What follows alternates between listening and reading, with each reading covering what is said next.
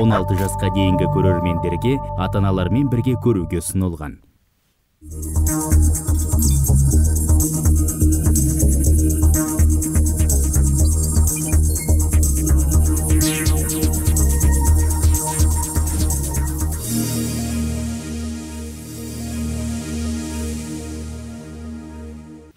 ассалаумағалейкум құрметті телекөрермендер. Әдеттегідей өздеріңізбен маңызды мәселе тікелей эфирінде қайта қауышып отырмыз. Жер сілкінісі су тасқыны өрт және басқа да қауіп қатерлер кез келген уақытта әртүрлі мекенде ойламаған жерде орын алуы мүмкін. Мұны қазақ апат айтып келмейді деген. Бірақ біз осындай қауіп қатерлерге осындай апаттарға қаншалықты дайынбыз? Бүгінде алматы қаласының төтенше жағдайлар департаменті апаттың алдын алуға байланысты қандай іс шаралар атқаруда? Мінекей құрметті телекөрермен бүгін біз осы сауалдарға жауап іздейтін боламыз. Олай болса эфирге шақырған қонақтармен сіздерді таныстырып өтсек. Алматы қаласы төтенше жағдайлар департаментінің ресми өкілі сандуғаш баймұхамбетова және алатау ауданының төтенше жағдайлар бөлімінің аға инженері қайыржан ақшайықов студиямызға қош келдіңіздер. Бағана ғана сіздердің сайттарыңызда яғни төтенше жағдайлар департаментінің сайтын ашып отырсам 11 он екінші сәуірде алматы қаласының кейбір жерлерінде минус үш градусқа дейін үсік күтіледі делінген екен. Әңгімемізді осыдан бастасақ. Ол рас. А, одан басқа жаңағындай алдын ала дауылды ескертулерді жариялаймыз. Ол біздің жай ғана сайтта емес ол жаңағы ақпараттық агенттіктердің парақшаларына да жариялаймыз. Ол не себепте? Өйткені біз алматы қаласының тұрғындарына және оның қонақтарын алдын ала ескерту жұмыстары сонымен қатар қар жаууы және де жаңбыр қатты жаууы одан басқа сел күтілу ықтимал деп те жіберіп жатамыз. Содан басқа жаңағы өздеріңіз білетіндей таудың басына шығатын туристерді алдын ала жаңағы профилактикалық түрде қар түсіру жұмыстарын бәрін сол жариялаймыз. Сондықтан қауіпсіздік шара ретінде осындай ақпараттар уақытымен ілініп тұрады. Төтенше жағдайлар департаментінің осы смс хабарларын жіберу бастамасы өте құптарлық. Өйткені ұялы телефонды ашсаң болды күнделікті күн күркіресе де кәдімгі хабарлама келіп тұрады. Бірақ осындай хабарламалар келгеннен кейінгі оны оқыған адамның жаңағы іс әрекеті қалай болу керек қайыржан? Іс оқып қана қоя салу керек пе? Әлде оған бір жоқ әр адамның өзінің ой санасына әбден жүктеп түйіндеп алатын нәрсесі ол жаңағыдай хабарламаны алғаннан кейін кішкене ә, сондай күтіліп тұрған ә, табиғи жағдайларға дайындық жұмыстарын бастаса өте ә, жақсы болар еді. Жаңағы ә, қар жауу салдарынан ә, қар көшкіні болуы деп ә, хабарламалар келіп жатады. Сондай кездерде тауға шығу ә, тауға шығудан кішкене бас тартып болмаса басқа күнге ауыстырып сондай ә, жоспар құрғандар өте дұрыс болар еді сел жүру қауіп қатері десе оған да байланысты әрине ә, солай жасау керек иә иә жаңағы ұялы телефон демекші ұялы телефонды ашып отырсам осы сәуір айының өзінде 15-ке жуық хабарлама келген екен ол рас мысалы әрбір айдың өзінің ә, жаңағы айтылатын болатын болжамдалатын ескертетін алдын ала дауылды ескертулер келіп жатады.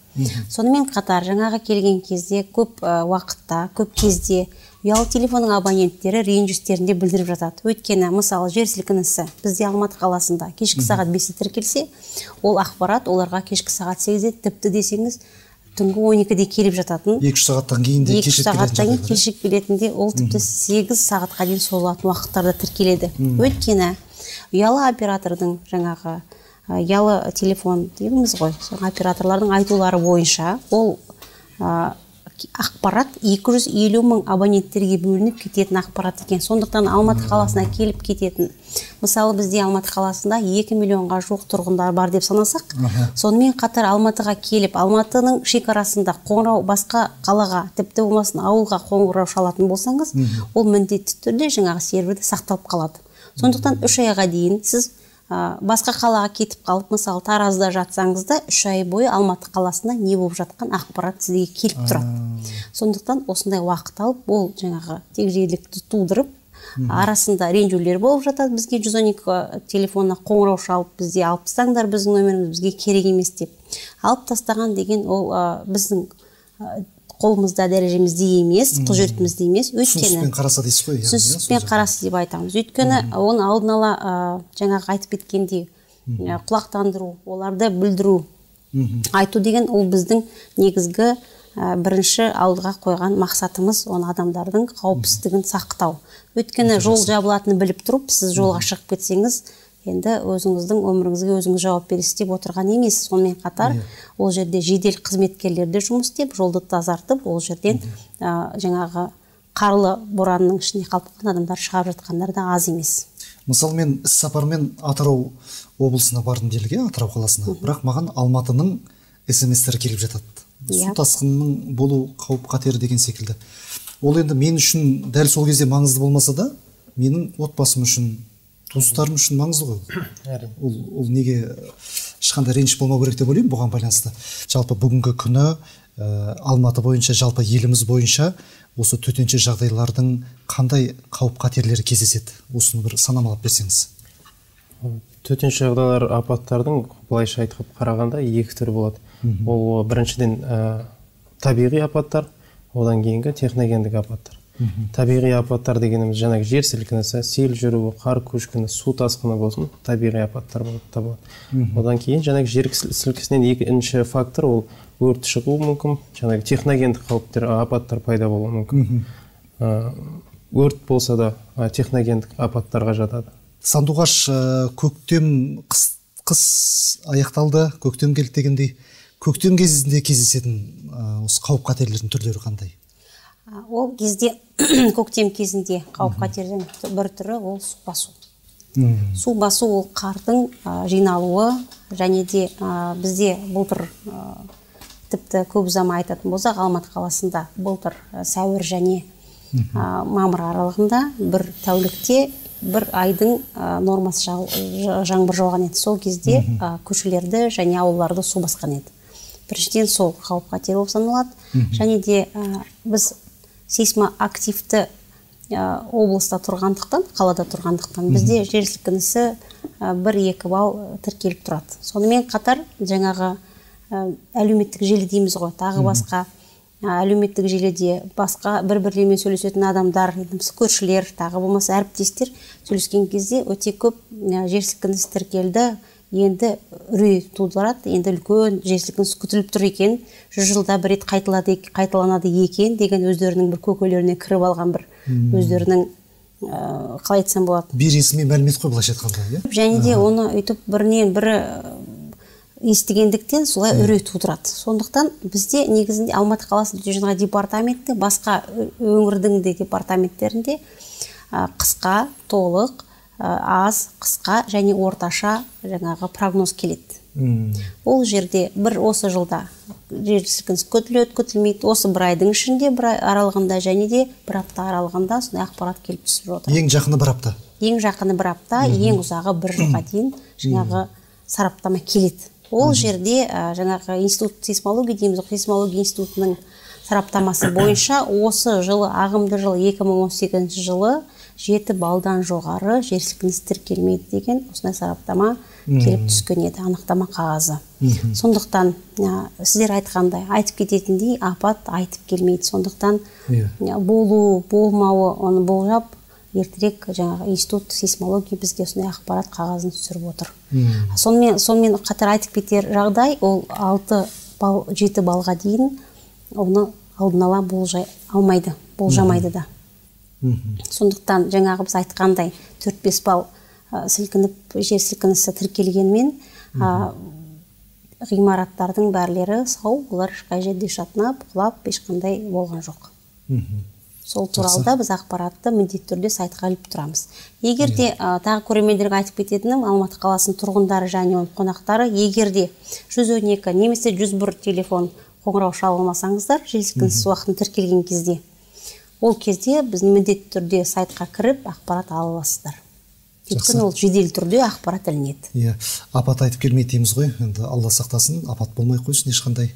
Біздің енді айтып отырғанымыз сол халық дайын болса екен қаперсіз қалмаса екен деген ниеттен пікірден туған ой ғой. Қайыржан жалпы алатау ауданының төтенше жағдайлар бөліміне қанша жаңағы тұрғын үйлер қарайды? Қанша мектептер қарайды жалпы сол жөнінде айта аласыз ба? Халықтың қанша саны қарайды? Ә, негізінде бізде алатау ауданында 37 мың ә, 800 жеке тұрғын үй бар. Ә, жеке тұрғын үйлер ә, және де ә, 60-тан астам оқу ә, объектілері бар. Ә, барлығында жаңағы апат айтып келмейді деп айтып өткендеріңіздей ә, жаңағы апаттың алдын алу саласында ә, жаттығулар жүріп тұрады. Жаңағы сейсма жаттығу дейміз сел, ә, сел жаттығуы дейміз. Сондай ә, сейсма жаттығу бізде тоқсанына бір рет өткізіліп тұрады. Өйткені біздің қаламыз алматы қаласы сейсмикалық ә, тұрғыда ә, как бы қатынасы болғаннан кейін ә, тоқсанына бір рет өткізіліп тұрады. Жаңағы сел жаттығуларымыз бізде ә, жылына екі рет өткізіледі. Ол ә, сел жаттығу негізінде ә, жаңағы ауа райының өзгерісіне байланысты Ә, ә, былайша айтқан кезде жаңбыр күшейген кезде ә, күшейетін уақыттарда той ә, ол күз көктем мезгілдерінде ә, сел жаттығулары жүргізіліп тұрады. Сондай телеарналардан көп көріп тұрамыз. Сандуғаш жалпы өрт сөндіру қызметі болсын төтенше жағдайлардың құтқарушылары болсын мектепте әртүрлі ғимараттарда оқу жаттығу жиындарын өткізіп жатады. Бұл өте жақсы бізді қуантады. Бірақ а, қоял- қояйын деген сұрағым қарапайым халықты да осындай оқу жаттығу жиындарына тартасыздар ма? Олар да бір соған қатысып көрсе жаңағы сол кезде қандай әрекет жасау керек соны өз көзімен көрсе өзі де сол кісілермен бірге жүгіріп жүрсе құтқарушылармен сөйтіп былайша айтқанда кез келген бір апатқа дайын болса дейсіз дайын болса деген ниет қой. А, түсіндік. А, бізде кск дейміз. Кск қызметкерлерін жинастырып осы жақын арада толығымен қамтыдық сегіз ауданда. Толығымен жаңағы сіз айтқандай жаттығу өтті. Жаттығу жұмыстары жүргізілуде. Және де әрбір тұрғынның әрбір қызмет жаңағы әрбір тұрғынның есігін қағып өрт өрт техникалық ой өрт өрт қауіпсіздік өрт ережелері қауіпсіздік ережелерін ә, есіктерін қағып әрбір тұрғындарына қолдарына ұстатамыз. Сонымен басқа өздеріңіз білетіндей алматы қаласы үлкен алып қала болғандықтан агломерация облыстан келіп бізге келіп тұрады. Уақытша тұрғындар да бар квартирант деп атаймыз. Олар біреуі келіп екіншісі үйді уақытша баспаналайды сондықтан біз ол жұмыс бізде ә, жаңағы от жағу маусымынан басталып сәуірден ә, мысалы с- қыркүйек айынан басталса келесі жылы сәуірдің 15-інде бірақ аяқталады. Сонымен сол жұмыс жүре береді. Бізде алматы қаласында 154-тен астам жеке тұрғын 154 мыңнан астам жеке тұрғын үй бар. соның ә, бәрін қамтитын міне біздің әріптесіміз айтып отырғандай бәрібір үйдің есігін қағып жаңағы өрт сөндіру ережелерімен басқа сел және басқа қауіпті ба- жарнамалар таратылады. Ол жерде қалай жасау керек қандай іс әрекет жасау керек екенін егер де жесірсіз болған кезде тревожный чемоданчик дейміз ғой қобдишаның ішінде не болу керек және тағы басқа ә, ақпараттарды баяндайды түсіндіреді. Келесі сұрақ қайыржан өзіңізге. Жалпы өрт қауіпсіздігіне байланысты мысалы үйде жатар кезде теледидардың сымына дейін суырып тастау керек дейді.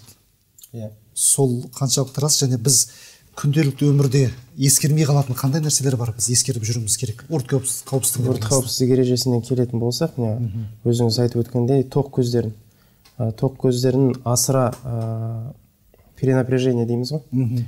Асыра пайдалану Шектен тыс пайдалану шектен тыс пайдалану жаңағы сол көп жағдайларда өрт себебі болып келіп жатады. Ол енді бір жағынан қарасақ өзіміздің немқұрайлы қарағандығымыздан болар. Рұқсат етілгеннен асыра тыс пайдаланамыз да. Жаңағы жатар кезде өшіріп қойғаныңыз ол өзіңіздің денсаулығыңызды сақтағаныңыз өзіңіздің өміріңізді сақтағаныңыз. Бәлкім ә, түн уақытында ә, электр қуатының жоғарылап кетуі мүмкін болар. Сол кезде авариялық режим жаңағы теледидарға көп тоқ барып сол жерде авариялық режим болуы мүмкін. Ә, сондай кездерде өрт шығып жатуы мүмкін. Сондықтан неғұрлым қарағанда жаңағы тоқ көздеріне өте ә, тиянақты қараса ә, сол дұрыс болар. Ол жаңағы өрт қауіпсіздік ережесінде де ол туралы өте көп жазылған тоқ көздеріне байланысты. Мхм. Жақсы. Биыл енді мына шығыс қазақстан облысындағы ә, алапат су тасқынына толассыз жауған нөсермен таудағы қардың еруі әсер етті деп жатыр ғой. Жақында ғана біздің тілшілеріміз ә, сол жаққа барып қайтты. Ә, сөйтіп өз көздерімен көрді зайсанды дегендей бірнеше аудандарды көрді. Сол жерде жаңағы бірнеше үйлер су алған 34 үй деді ғой деймін қателеспесем жарамсыз болып қалған. Бірақ мемлекет тарапынан қаншама көмектер жасалды. Бүкіл мемлекет бойынша мешіттерден түрлі көмек жіберілді асар дейміз ғой асарлатып көмек жіберілді. Аллаға шүкір дейміз. Енді алматыда да ә, осыдан бірнеше жыл бұрын жаңағы қарғалы өзеніне байланысты жағдай болған. Енді ол ә, жалпы және осыдан бірнеше жыл бұрынғы қарғалыда болған жағдай бір қайталанбас үшін қандай ә, жұмыстар жасалды ә, су кәріздердің жаңағы кету жүйелері толық аяқталды ма осы жөнінде? Пікіріңізді білсек қазіргі таңда. Сіз айтып кеткендей қарғалы өзенінің арнасы жөндеу жұмыстары аяқталды және де тағы басқа ә, наурызбай ауданда аяқталды басқа ә, аудандарында жұмыс жүріп жатыр. Оның ә, жаңағы сіз айтып кеткен арнасы үлкейтілу кеңейтуі дно углубитель дейміз төмен жағын үлкейту кеңейту жұмыстары жүргізілді. Және одан басқа жағалауларын бетондап тағы басқа жұмыстар жүргізілді. Сонымен қатар ә, жаңағы айтып кеткен медеу платинасы жаңадан қайтадан ә, жаңаланып тағы жұмыстар жүргізілуде. Ә, арық арық арнасына келетін болсақ ол жұмыстарда бірнеше мың километр жұмыстары жүргізіліп оның бәрі әкімшілік тарапынан және республикалық бюджеттен бөлінген қаржы, қаржыларға жұмыстар жүргізіліп жатыр. Қазіргі таңда ондай сел жүру қаупі бар деп айтуға болмайды. Өйткені қауіп жоқ дейсіз ғой. қаупі жоқ деп айтса бірақ болады. кешіріңіз қазір көктем алматы қаласында жаздың кезіндегідей ауа райы болып тұр. Бірақ дегенмен алатаудың қары еріген жоқ дегендей. Бәрібір алаңсыз болуға болмайтын шығар иә? Жоқ.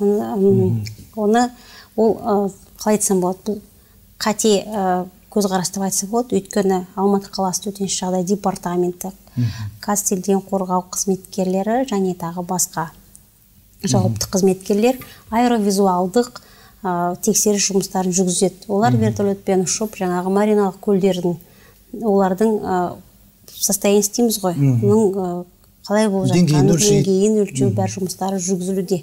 Қазіргі таңда олар қарлы қысқы режимде деп айтса болады. Өйткені қазір олар мұз болып жатыр. Олардың мұздан ашылатын уақыты ол шілде айына қалған ыстық уақытқа келеді. Сондықтан қазіргі таңда сел жүру деген қаупі деген ол дұрыс емес қазіргі уақытта алматы қаласының тұрғындарына сел жүруге байланысты ешқандай қауіп қатер жоқ. Ешқандай қауіп төніп тұрған жоқ. Қауіп төніп жүрген жоқ. Рахмет. Ә, су тасқынына байланысты ғой. Ә, тағы бір сұрақ қойғым келіп отыр. Кейде мына халықтың арасында мынау алып қаша бір әңгімелер болады. Бір бейресми ақпарат таратады бір адам сонымен бәрі алып кетеді. Мәселен жаңағы су тасиын деп жатыр екен. Ойбай дамбы жарылайын деп жатыр екен платина дамбылар жарылғалы жатыр сөйтіп екен бүкіл үйін тастап тау жаққа қарай көлігіне отырып тау жаққа қарай кеткен оқиғаларды енді өз көзімізбен көрдік қой. Мысалы автобусқа мінеді көлігіне мінеді. Бір осындай жағдайларда оларды бір сабырға шақыру үшін ә, оларға ә, сіздер уайымдамаңыздар. Бұндай ешқандай ақпарат таралған жоқ қой деп айту үшін қайға хабарласып қалай білуімізге болады? Тез арада. жүз он екі телефонына қоңырау шалып сұрасаңыз болады. Және 112 номері ол бұл алматы қаласында ғана емес бүкіл қазақстан бойынша төтенше жағдай департаментінің тікелей номері қысқа номері 112 ол жерге жаңағы адамның ағзасына егер де өміріне қауіп төнетін болса сол нөмірге міндетті түрде хабарласуға болады. Ол жерде бірақ линия емес бірнеше линия. Сондықтан ол жерде отырған операторлар сіздердің жауаптарыңызды алып жаңағы ә, өтініштеріңізді тіркеп сол жерге қызметкерлерді жібереді. Екіншіден жаңа айтып жатқандай ә, 112 егер де 112 номері тіпті алмай жатса 101 номеріне хабарлассаңыз болады. Өйткені 101 мен 112 телефоны бір бірлерімен ақпаратты ә, оперативті түрде жедел түрде бір алмасып бірлерімен отырады. алмасып отырады. Сондықтан хабарласуға болады және де а, бізде алматы қаласында осы жылы а, жаңағы құлақтандыру дейміз үлкен құлақтандыру үлкен а, сирена речевой дейміз ғой сирена речевые установки дейміз. Дыбыс белгісімен дыбыс белгісімен беретін сол құлақтандырғыш заттарды алдық. Ол а, мысалы а, 2015 жылы бізге алматы қаласында наурызбай ауданында бірақ жаңағы айтылған құлақтандыру құралымен кіретін болса осы жылы бізде а, 60 пайызға дейін толығымен деп жүз пайыз деп айта алмаймын енді алпыс пайызымен алматы қаласы қамтыған. Сондықтан егер де жер сілкініс ә, және жаңағы тағы басқа апаттар болатын болса міндетті түрде жаңағы сирена речевой установка дейміз. Сол жаңағы құрал арқылы бізге ақпаратты таратуға мүмкіндігіміз бар. Ол мысалы бүкіл қаланы шуылдатпай айтылған аудан бойынша айта аламыз және де бүкіл қала бойынша. Сонымен қатар жаңағы айтып кеткендей онымен қатар перехват дейміз. Телевизор теледидарлар жүріп жатқан ақпараттарды тоқтатып радио арқылы тоқтатып ақпараттарды айта аламыз. Бұқаралық ақпарат құралдарын да пайдалана аласыздар аласыздар ғой иә сондай кезде де иә. Сонымен сондай жұмыс жүргізіледі. Сонымен қатар жаңа сіздер айтқандай смс жіберу және де информациялық өзіміз білетіндей ақпараттық агенттіктер тезірек телефон арқылы қарап бәрі біле салады. Телевизорға барып оны қарап жаңағы радио қондырғыштарын тыңдап болғанша ол тезірек телефон арқылы қарап біліп те жатады. Сондықтан оларды да есептен шығармай солар арқылы да ақпаратты тартамыз. Өзіміздің тарапымыз айтып отырмын алматы қаласына қатысты. Қайыржан сіз қандай пікір қосасыз осыған байланысты? халықты хабарландыру мақсатындамын иә, иә. жаңағы сандуғаш әріптесіміз айтып отырғандай ә, жаңағы құрылғылар бізде ай сайын тексеріліп тұрады алматы қаласының тұрғындары барлығы біледі. Жаңағы ондай кездегі болады кейбір туысқанымыз таныс, таныстарымыз келіп қалған кезде қалаға естиді енді өзіміз осы қызметте жүргеннен бізге звондайды не болып жатыр тыныштық па деп. Ол әр халыққа жаңағы осындай моментті пайдалана отырып айта кетейік. Және халықты үйрету бір басты мақсат және де жаңағы жаңағы құрылғылардың жұмыс істеулігін тексеру. Одан жаңағы алдында айтып өткен алып қашар сөздер дедіңіз ғой? Ал жалған ақпараттар жүріп жатады оның барлығы біздің жаңағы әлеуметтік желілерден тарап жатады да. Әлеуметтік желінің екі жақ шеті бар ғой. Әр нәрсенің екі шеті бар дегенмен бір жақсы жағы бар тез ақпарат алмасу. Жаңағы екінші жағы қауесет әңгімелер көп таралып кетеді да. Сонда сондықтан сондайға көп сене бермей жаңағындай апат жайлы хабарлар естіп жатқан жағдайларда 112 номеріне хабарласып мән жайды біліп толық дұрыс ақпаратты алып білсеңіз білсе болады.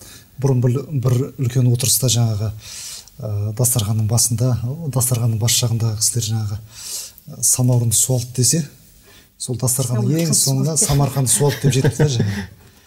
Осындай қазақ жағдайлар бар. енді ә, әртүрлі осындай оқиғалар орын алған кезде ә, бұқаралық ақпарат құралдары заңы бойынша заңына енгізілген өзгерістер бойынша ресми органдар үш сағаттың ішінде ғой деймін иә мәлімет тарату керек. осы жайлы бір ауыз айтып кетесіз ба? Мысалы бізде алматы қаласында резонансный дейміз үлкен өрт болған жағдайда біріншіден ең бірінші иә констатация фактов дейміз ол фактіні растау иә өрт болды. Осындай мекенжайда өрт жүріп жатыр. Қазіргі таңда осыншама осыншама бірлік техника жұмылдырылды осыншама мысалы адам саны yeah, yeah. жеке құрам жұмыс істеп жатыр жұмыс жұмылдырылды деген бір ақпарат келеді. Ол бір сағаттың ішінде жаңағы ақпарат беріледі бұқаралық ақпарат құралдар өкілдеріне. Бір сыпыра бір жарым сағат бұл ә, жаңағы баққа байланысты заңға емес өзімнің тарапымнан өзімнің жұмысым туралы айтып жатырмын. Ә, бір жарым сағат кешіріңіз ә, бір телефонның сұрағынан кейін осы пікіріңізді ары қарай жалғастырсаңыз иә? Тыңдап отырмыз қандай сұрағыңыз бар?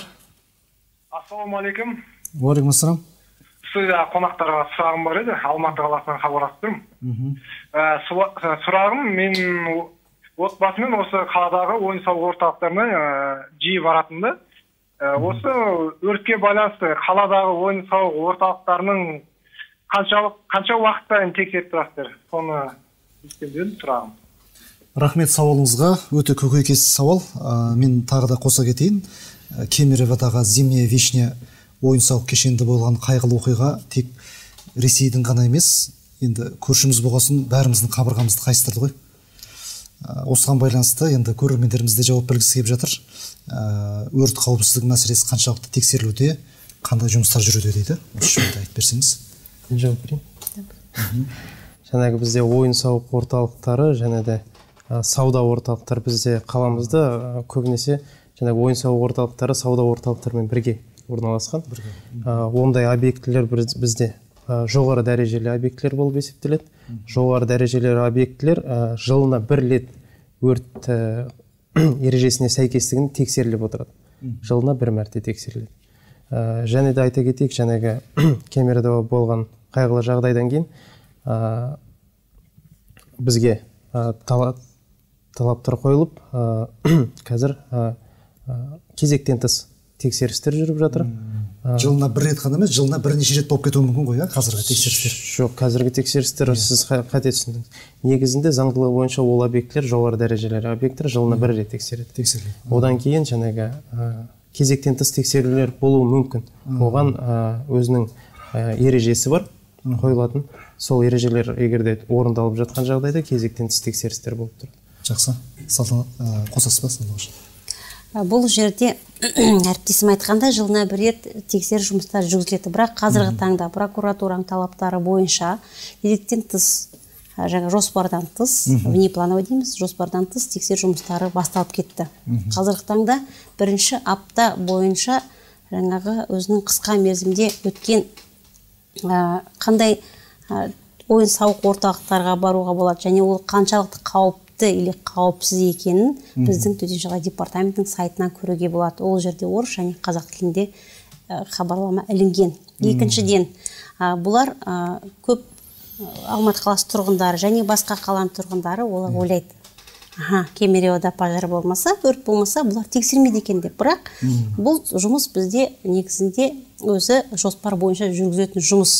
Сондықтан біз оны бақ өкілдері бақ өкілдерін шақырып біз жұмыс істеп жатырмыз деп көрсетпей өзіміздің ә, күнделікті жасалатын жұмыс болғандықтан ол байқалмайтын көзге түспейтін. Қазіргі таңда жаңағы әрбір тұрғындардың көкейінде отырған сұрақ қаншалықты қауіпсіз бала шағамызды апара аламыз ба апара алмаймыз ба және де қалай ол жерден шыға аламыз деген осындай үлкен сұрақ туындалып тұр. Ол жерде ең көп ә, заң бұзушылықтар ол эвакуациялық есіктердің алдыңғы жақтарында көп заттарды қойып есігі жауып жабылып тұру екіншіден есіктің сөресінде жаңағы шығу немесе выход деп жасыл шамды жанып тұру ол жанбайды. Үшіншіден өрт сөндіру қондырғылары жұмыс істемеуі ол өте үлкен жаңағы көбінекей кездесетін Мәселе десеңізші. осындай мәселелер болып тұр. Одан басқа одан басқа тыс режимді түрде жаңағы қателіктер ақаулықтар тіркеліп жатыр. Жаңа шығу деген жазу жалпы күндіз де түнде де кез келген уақытта жанып тұру керек қой жалпы иә? Кез келген Көз- уақытта. көзге жақсы көрініп тұру керек қой. көрініп тұру керек. Иә. Сонымен қатар біз осы талаптар сақталмаса ондай ә, сауда орындарына ескерту айтып дегендей қателіктерін түзетуге кеңес бересіздер солай ғой? Кеңесті біз жаңағы өрт тактикалық жаттығу уақытында жұмыстар тексерілу жұмыстары бірге өтеді. Мысалы жаңағы өрт тактикалық оқу жаттығу кезінде адамдарды құтқару мысалы о жаңағы оқу жаттығудың мысалы бойынша өрт мысалы кинозалдың ішінде болдық дейік мысалы. Сол өрттің ішінде оранып жатыр деп мысалы өрттің орану ішінде бір екі адам қалып қалды зардап шеккендер оларды шығару. Және ол жерде жедел жәрдемнің қызметкерлері қалай жұмыс істейді? Сол объектінің нысанының әкімшілік жұмыстары қызметкерлері қалай жұмыс істейді соның бәрін тексеру. Сонымен қатар біз кеткен кезде жаңағы сіз айтқандай ақыл кеңесімізді айтамыз. Ал егер де тексеріс уақытында сондай айтылған тіпті көзге түсетін үлкен сондай ақаулар болып жататын болса олар әкімшілік жаңағы Әкімшілік жауапкершілікке тартылады. сондай ақ елбасы нұрсұлтан назарбаев та өткен жолы болашақта салынатын ойын сауық кешендерінде ойын алаңдары бірінші қабатта болу керек деген талап қойды ғой жалпы. Ә, қазіргі уақытта біздегі жұмыс істеп тұрған ойын сауық кешендері көшірмейді ғой. Бұл жалпы тек болашақта салынатындарға қатысты ғой иә негізі осыған байланысты оны ол жаңағы сіз айтып тұрған сұрағыңыз ә, көтеріліп жатыр. Ол көкейінде жүрген көп адамдардың негізгі сұрағы еді? Бұл жалғыз жаңа осы ресей федерациясында өрт болғаннан кейін ғана көтеріліп тұрған сұрақ емес. Ол қазіргі таңда ә, жаңағы технический регламент дейміз ғой техникалық регламенттің ішінде міндетті түрде бірінші қабатта немесе екінші қабатта орналастыру деген жоқ. Сондықтан ол егер де біздің елбасымыз айтатын болса міндетті түрде жаңағыдай заң ә, жаңаланып жаңа тағы басқа ә, басқа өзгерістер енгізуі мүмкін. Сондықтан қазіргі таңда болжау ертерек деп ойлаймын. Иә. бірнеше уақыт өткеннен кейін уақыт көрсетер. Қайыржан жалпы өрт қауіпсіздігі деп жатырмыз ғой. Ә, кей, кейбір өрттердің туындауына үйдегі ә, балалар себеп болып қалуы мүмкін ғой. Жаңағы шақпақ жағып жібереді иә. зажигалка жағып жібереді. Соған ата анасы дастарханның басында да жай кездерде бір үгіт насихат жұмыстарын жүргізіп отырған дұрыс шығар. Өте дұрыс өте дұрыс. Бізде бар ол баланың детская шалость дейді ғой. Баланың ойнауы. Жаңағы үйде қалғанда а, баланың жаңағы жас кішкентай балаға бәрі қызықты ғой. Ол жағып көргісі келеді ашып көргісі келеді бірдеңкені қосып көргісі келеді тоқ көздерін. Сондықтан а, айта кете айтып өткіміз келіп тұрғаны мына жерде. Ата аналардың балалармен жұмыс жасау үйретуі жаңағы біздің сайтымызда да өте познавательный дейміз жаңағы үйрет, үй- жақсы үйрететін видеороликтер бар. Аха. а, мультфильм ретінде. А, жаңағыларды көрсетіп мультфильм ретінде көрсетіп егер де бала сондай қарайтын болса оның ойына тұйықталынады ойына жақсы кіреді. Және де біз ә, ол роликтерді сіздерден көруге болады ғой иә сайттарыңызда сайтында бар көрсеңіздер болады. А, одан кейін біз ә, мектептерді а, аралау және оқу жаттығу жүргізген кезінде ә, кіші сынып оқушыларымен ә, лекция өткізіп тұрамыз. Және түсіндірме жұмыстарын жүргіземіз. Сол жерде де балаларға да айтып жатамыз. Ол жерде ата аналармен де өтетін жиындар болады. Ол жерде де айтып өтіп ә, жаңағы жадынамалар таратып ә, түсіндіріп айтып жатамыз.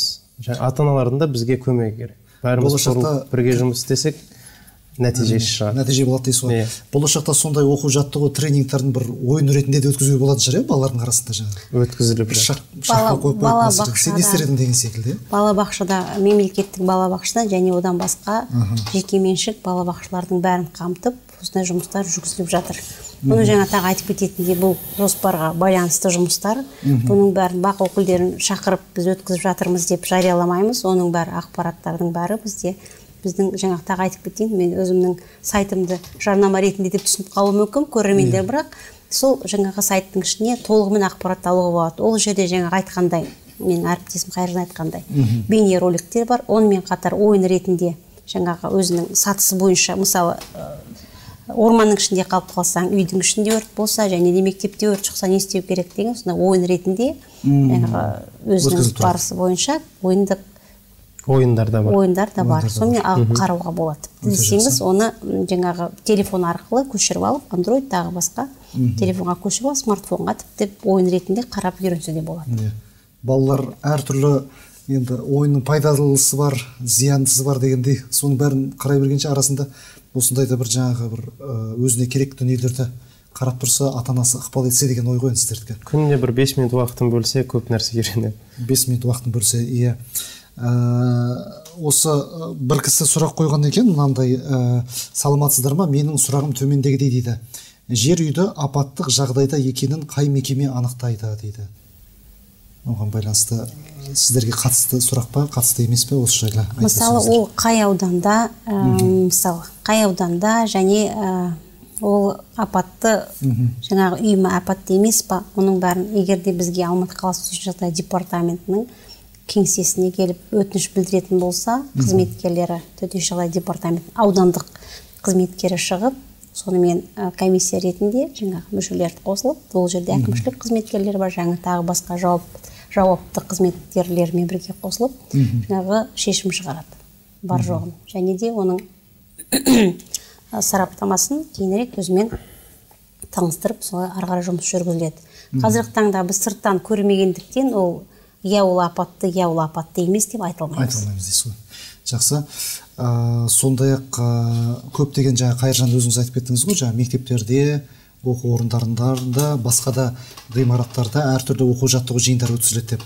Ә, жер сілкінісіне байланысты ә, оқу жаттығу жиындары соңғы рет қай жерде өтті? Және ә, көптеген көрермендерге жер сілкінген кезде ескеру тиіс қандай мәселелер бар? Не істеу керек жер қозғалған кезде? Жер қолға кейде бір екі рет қозғалғанда өтіп кететін шығар деп үйде отыра беретін жағдайлар кездеседі бірақ ол жай қозғалса да одан кейін қаттырақ қозғалуы мүмкін деген сияқты. Далаға жүгіріп шығу керек пе? Не істеу керек жалпы осыны бір түсіндіріп өтіңізші алдында айтып өткендей ә, сейсма жаттығулар бізде тоқсанына бір рет өт- өткізіліп тұрады. Ол сейсма жаттығуға жаңағы оқу орындары болсын болмаса да басқа да ә, мемлекеттік мемлекеттік емес ұй- ұйымдар болсын барлығы қатысады. Ә, жер сілкініс сезген уақытта неғұрлым жаңа алдын ала айтылып өткендей тревожный чемодан дейміз ғой. Сондай әр үйде болғаны абзал. Ол не нәрсе? Тревожный чемодан. Ең керекті заттарды ә, салып жаңағы сумке, сөмкеге қобдишаға салынып есіктің маңында ұстайтын зат. Оған нелер жатады? Мысалы керекті дәрі дәрмектер жата ма? Керекті дәрі дәрмек құжаттар құжаттар. су ә, алғашқы екі үш күнге жететін тағам ә, және де жылы киімдер. Сондай сондай жат шам сіріңке деген сияқты жаңағы сондай заттар жатады. Иә. Апаттың бетін алла аулақ қылсын. Бірақ бола қалған жағдайда бола қалған жағдайда қолына іле салып далаға шығып ә, кейін жаңағы ә, тіркеу дейміз. Сол кезде құжаттарын көрсетіп мен осындай осындай адаммын деп айта алатындай сондай болу керек.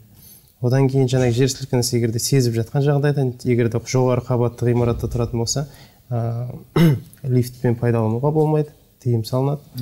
Неғұрлым ол лифтпен пайдалану только ә, жер сілкінген кезде емес барлық мысалы өрт шығып жатқан жағдайда да лифтпен пайдалануға болмайды. Ә, сыртқа қарай шығып ә, кеңірек ә, биік ғимараттар текпе жоқ. Жекпен түседі ғой иә сонда астында Иә. тек текпе жекпен Аха. биік ғимараттар жоқ биік ә, құрылғылар жоқ. Жаққа кең аймаққа қарай ә, қашып жаңағы жиналып тұру керек. Және де әр семьяда өзінің хабарлау жоспары дейді ғой. Сондай жасап қойса ол өте жақсы болар еді. Және біреу жұмыста болуы мүмкін балалары мектепте болуы мүмкін. Және жағдай бола қалған кезде бір біріне хабарласып ә, жиналатын орны алдын ала белгілену керек та мысалы. А, сол күні ғана емес ол бола қалды біз ана жерде жиналайық емес. Жаңағы осындай оқиға болған жағдайда а, байланыс болмай қалуы мүмкін телефон болмай қалуы мүмкін. Алдын ала біледі сол жерге барып жаңағы үй ішімен жолыға алдын ала жалпы тек қана төтенше жағдайлар департаменті емес әрбір жанұя әрбір отбасы өздері оқу жаттығу өткізіп тұрған дұрыс қой жалпы. Егер былай болса былай жасаймыз жаңағы жер қозғалатын болса мынау үстелдің астына отырамыз деген секілді. Енді ол шыға алмай қалған жағдайда ғой жаңағы үйден. Жаңағы әріптесім қайыржан айтқандай оның сөзін толықтырайын. Бізде алматы қаласы төтенше жағдай департаментінің сайтында екі жүз жиырма эвакуациялық жаңағы орындары нысандардың орындары белгіленген. Сол жерге кіріп қараса болады. Өйткені апат айтпай келеді. Сондықтан әрбір ауданда қай жерде қандай эвакуациялық орындары пункттар бар екенін сонымен кіріп танысуға болады. Ол көбінеки мектеп оқу мектептердің ашық алаңдары стадион тағы басқа ашық алаңдар болып саналады. Сондықтан ертерек апат айтпай келеді дегендей ертерек кіріп оның бәрін көрген дұрыс деп ойлаймын. Сонымен қатар алматы қаласы төтенше жағдай департаменті көп қабатты ғимараттардың есіктерінде сөрелерінде жаңағы өздеріңіз білесіздер прачечный тағы басқа деп салып қоятын мынандай жаңағы рекламный ә, жарнама щиттарының ішіне ә, жаңағы эвакуациялық орындардың бәрін белгіленген ә, сондай жарнамаларды салып қояды. Салып жатыр. Қазіргі таңда жұмыс жалғасуда. Сонымен қатар жаңа сіз айтқандай сейсмикалық жаттығу қай жерде өтті дейсіз? Ол екі күн бұрын бостандық ауданында 94 төртінші гимназия лицейінде өтті. Ол жерде ә, жалғыз төтенше жағдай департамент қызметкерлері емес ол жерде жедел жәрдем жаңағы полиция қызметкерлері алматы қаласының құтқару қызметкерлері барлары бірге жұмылдырылып бір адамдай оқу жаттығуын өткізді. Ол жерде жаңағы тактика оқу жаттығу тактиканың ә, жаңағы жоспары бойынша есікті есік саңылауы бәрі жабылып қалып бір оқушы тоғызыншы класс тоғызыншы сынып оқушысы екінші этажда қамап қалды деген ақпарат келіп түседі. Және ол жерде терезеден эвакуациялап жіппен түсіру жаңағы спасательная веревка дейміз арқан арқылы түсіру. Одан басқа жапондық жаңағы ақпаратты қалай тексеру жұмыстарын енгізіп сондай жүргіздік. Өйткені жақсы.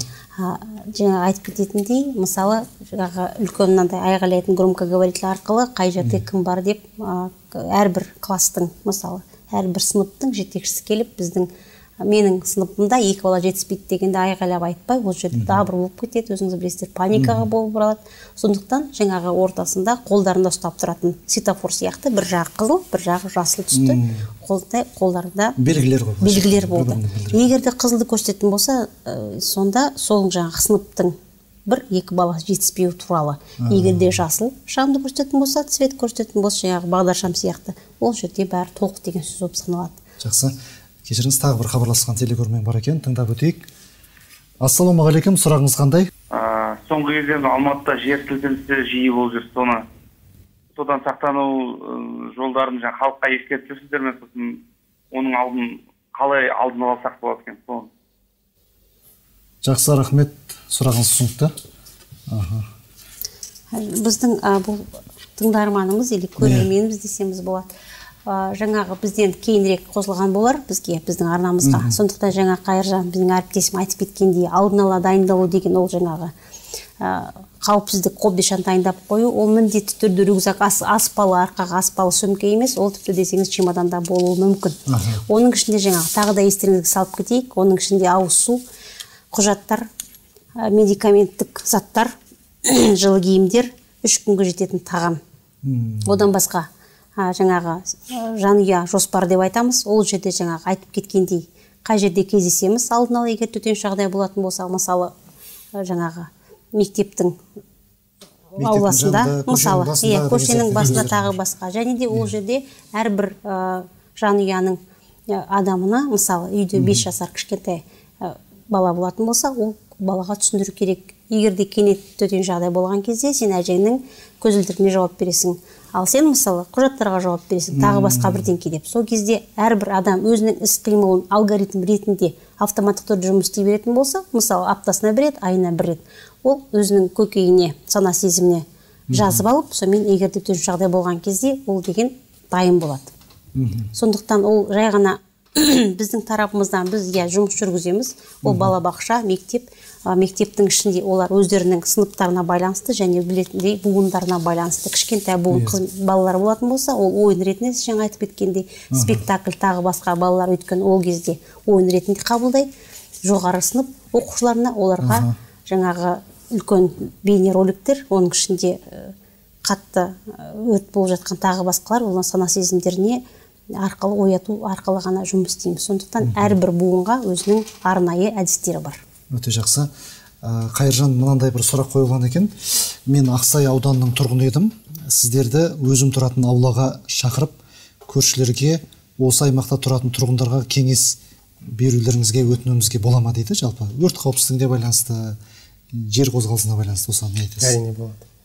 Болады. Келіп ә, жаңағы ақсай ау- шағын ауданының тұрғыны болса әуезов ауданына жатады ғой сол ауданның төтенше жағдайлар бөлімшесіне барып ә, жаңағы өтінішін білдірсе. ә, қызмет төтенше жағдайлар қызметкерлері барып түсіндірме жұмыстарын өткізеді мысалы ә, бізге бір жолы келген өрт қауіпсіздігінің мамандары мынау решетка дейді ғой терезенің сыртына қойылатын ол. Дүкендерде де болуы мүмкін тұрғын үйлерде де болуы мүмкін. Сол нәрсе ұмытпасам іштен ашылуы ашылатындай болу керек деді ау деймін. Жоқ қателесесіз. Олай емес па қазіргі таңда өрт қауіпсіздік ережесі бойынша ә, жаңағы темір решеткаларды ә, бірінші қабаттан бастап жоғары қабатқа дейін салынуға тыйым салынған өрт қауіпсіздік ережесі бойынша. Оның өзінің рұқсат етілген ә, бөлмелері бар. Егер де ол сол категорияға жататын болса жаңағы айтылған бөлме онда жаңағы темір решетка қойылуға болады. Бірақ басқа жағдайда мүлдем басқа жағдайда тыйым салынады. Ә, қандай мекеме болса да иә? Қандай ә, оның жаңағы айтылып айтылып отырмын өзінің категориясы бар рұқсат етілген категория бар жаңағы ә, ол жерде. Санатына байланысты. Санатына байланысты. Егер де қауіпті тағы басқа мысалы ә, жаңағы огнестрельное оружие дейміз тағы басқалар. Болатын болса тіпті сейф тағы басқа бір керемет материалдық құндылықтар сақталатын жаңағы оқ дәрі сақталатын жер болса жаңағы психотроптық заттар, заттар сақталатын жер болса оларға рұқсат етілген заңды түрде ереже бойынша. Ал ол категорияға жатпайтын болса ол жердің терезесіне решетка салу тыйым салынған. Жақсы. Жақсы жауап бердіңіздер. Ә, жалпы сандуғаш бағана әңгіменің желісі үзіліп қалған болатын. Осы бір сағаттың ішінде хабарлама таратамыз деп айтып бастадыңыз осыны бір жалғастырсаңыз ары қарай. Өрттің барысы уақытында мысалы біз жаңа айтып кеткендей алматы қаласы алып қала болғандықтан өрт ә, жаңағы жиі болады деп айтпаймын. Бірақ өрттің өзінің салдары әртүрлі. Мысалы жаңағы электр жүйесінен сұйықталу оны жаңағы айтып кеткендей ә, шамадан тыс жұмыс істеткізу. Ол мысалы жаңағы розетка дейміз ол жерде үш қондырғылар болатын болса сол міндетті түрде үшеуіне бірдей ә, тоңазытқыш тағы басқа солардың бәрін қосып қойып күні бойы қоса берсеңіздер оларда электр жүйелері қатты қызып кеткеннен де от шығуы ықтимал. Сондықтан одан басқа да жаңағы бала ойыны ә, жаңағы одан басқа мысалы пешті қатты жағу тағы басқа жұмыс тағы басқа жағдайларда өрт орын алып жатады. Сонымен қатар егер де үлкен өрт болатын болса мысалы өзім жағдайымды өзім тарапынан айтып жатырмын. Иә рас өрт болып жатыр. Ол жерде осыншама қызметкерлер және ә, техника бірліктер жұмылдырылды деген ақпарат беремін бір жарым екі сағат өткеннен кейін екінші ақпарат. Ол жерде қаншалықты жұмыс істеп жатыр? Эвакуацияланды ма? Өрт жайылды ма? Тағы да басқа ғимараттарға ауысуы қаупі бар ма жоқ па? Ол екінші ақпарат болып саналады. Және үшінші ақпарат ол толығымен жойылды. Тағы басқа жұмыстар қандай атқарылды? Мысалы газ баллондары эвакуацияланды. Одан басқа адамдар құтқарылды құтқарылмады.